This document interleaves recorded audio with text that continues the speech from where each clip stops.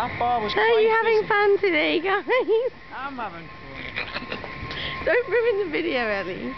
Last bar was really nice, but uh, quite empty, so we're not I much don't like the camera So, so yeah. where should we go next, Ellie? I think we should go to Dobson.